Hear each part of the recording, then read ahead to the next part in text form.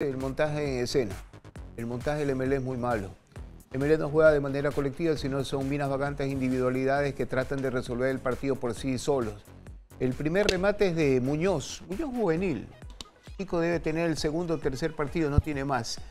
Y tan de mala suerte que la pelota la corta el portero y va al palo y por poco ingresa. Si esa pelota hubiera ingresado, quizá el partido pintaba de otra manera. El cotejo sigue con Rivero, que es otra mina vagante. Es otra gaviota perdida en Bolivia.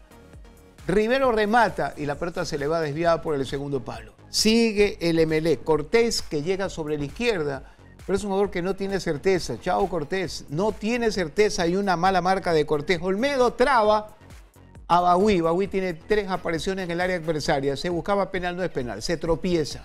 Simplemente se tropieza. Nacional llega por primera ocasión en el minuto 37. En una salida de Patiño, a la espalda lateral zurdo Cortés y la pone a vuelo de Paloma. Gracias para el técnico de que Ceres sabe, sabe ponerle el hombro y no la cabeza, porque si no hubiera sido un golazo. En el segundo tiempo, el ingreso de Cortés y Pineida por los dos Mejía. Chao Mejía y el partido comienza a tener otro color.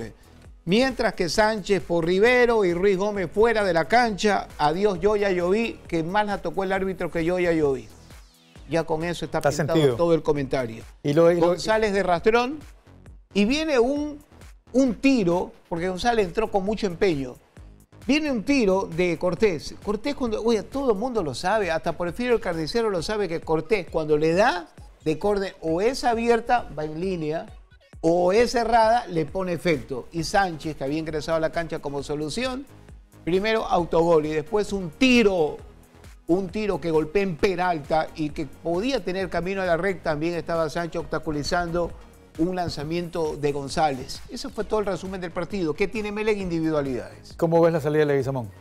La salida de Leguizamón, vea, un técnico ni siquiera debe de asumir la ausencia de Leguizamón, sino darle la oportunidad a Bagui. Bagui no es malo, ¿ah? es un chico que tiene estatura, va a cabecear, apareció tres veces en el área adversaria, tiene mucha ambición deportiva y la confianza del técnico es darle continuidad. Y Bagüe la salvación. Ya Leguizamón, página antigua. No hay que pensar en los que ya no están. Pero ¿no crees, Roberto, que igual pierde algo Melec con la salida de Leguizamón?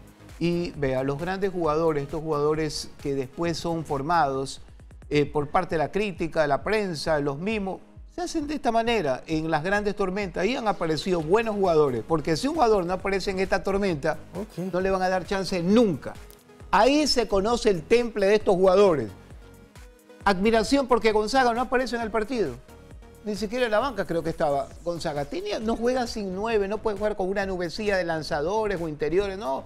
Tiene que poner jugadores de certeza. No lo digo por la Yoya vi que pasa un mal momento.